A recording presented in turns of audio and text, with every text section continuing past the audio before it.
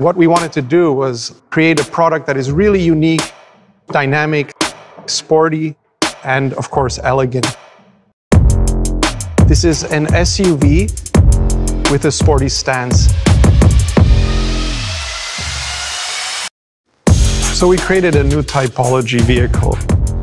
We've kept the overall standard wide wheel arches, large cladding, and the command driving position and we combine it with a sleek and efficient and very emotional silhouette, augmented by this very sleek arch, which creates an SUV sporty character. Of course, we've married that with an overall design language, which we call digital. So we have very clean surfaces and all crisp lines. Everything is about being efficient. And all of the surfaces with a hard line architecture create something that is very comprehensively exciting and dynamic, but at the same time functional.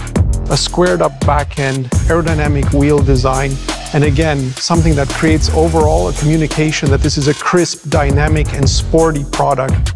We haven't sacrificed any of the function in terms of rear roominess, ingress, egress, or boot space with this design.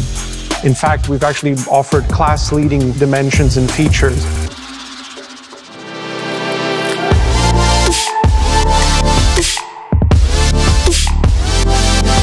When we were designing this vehicle, we also wanted to make sure that it didn't come across as claustrophobic. So the entire cabin is, is augmented by the panorama sunroof, which creates a real feeling of light. And of course, just like with the exterior, a real attention to detail was focused. You can see the detailing, the fluting, the switches, the vents, and the sharpness of the design are all consistent with the exterior. So just like with the exterior, what we wanted to do was communicate the same design values uh, on the interior. The horizontal light guide, which mirrors the front and the rear of the vehicle, the emphasis of detailing and efficiency, which you see in all the detailing throughout the interior. We talked about creating a technology-focused product. That's emphasized by the two screens on the top of the instrument panel, which communicate the infotainment and, of course, the uh, information that the driver needs. That's also augmented by the heater controls, which are now a touchscreen uh, interface. The steering wheel is our next generation steering wheel DNA. What we've done is we've created a digital platform where the logo is now illuminated in the center and that's augmented by two switches on either end where the driver can communicate and interface with the product as well as possible. There's another aspect, which is the color and materials and the finish that was chosen for this vehicle.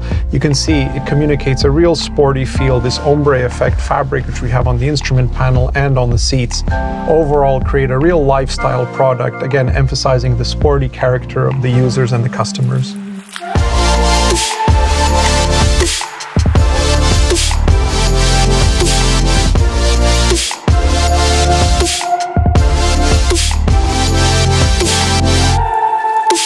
And that is the Curvv.